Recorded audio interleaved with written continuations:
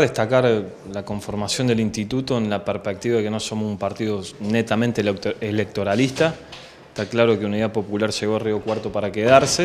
y que vamos a dar la disputa en todos los planos. Digamos, así como estamos eh, trabajando en el territorio, como estamos trabajando de la perspectiva política, como estamos trabajando y teniendo presencia en los conflictos, también nos parece importante eh, entrar en la perspectiva de la, discusión de la intelectualidad local,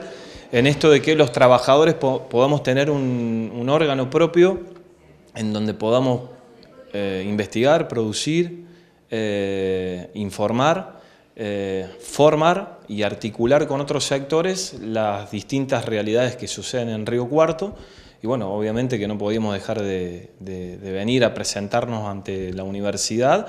porque nos parece que acá hay un polo de conocimiento que es importante y nosotros como herramienta partidaria que está en el territorio podemos ser un articulador, un vertebrador de ese conocimiento para que llegue a los distintos sectores de la, sociedad. Así que en ese marco sí plantear que este instituto tiene un objetivo político que es incidir en la agenda pública, es incidir en la agenda de quienes nos gobiernan y poner temas que hoy tal vez eh, son, eh, están este, subterráneos, ponerlos en la superficie.